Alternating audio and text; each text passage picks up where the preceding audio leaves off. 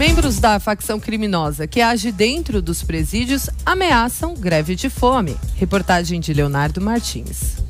Integrantes do PCC se recusam a comparecer em audiências e ameaçam greve de fome como protesto contra autoridades do sistema prisional.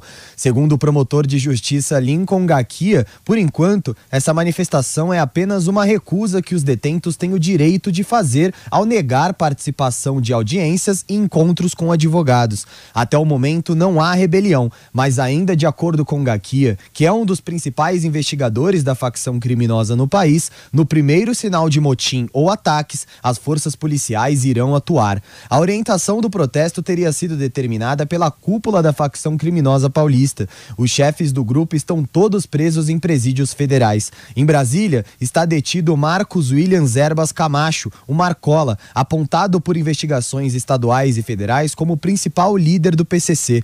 Presos da facção que estão recolhidos na Penitenciária Federal de Brasília ameaçam entrar em greve de fome por tempo indeterminado. O protesto seria contra a falta de atendimento médico aos presidiários doentes e também por conta da péssima alimentação servida na unidade prisional. Paulo César Souza Nascimento Júnior, o Paulinho Neblina, integrante da facção, chegou a escrever cartas e enviar aos familiares denunciando a privação de alimentação adequada. As informações e o documento foram obtidos obtidos pelo portal Ponte Jornalismo.